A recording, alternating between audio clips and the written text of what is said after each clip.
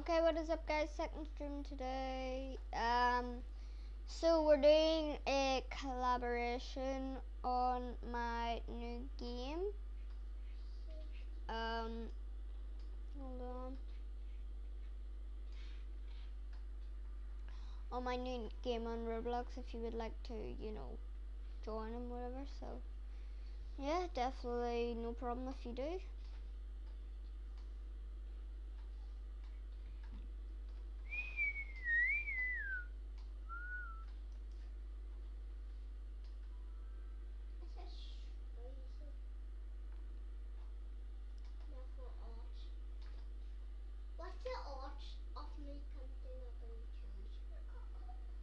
Whoa, dude, that's a lot of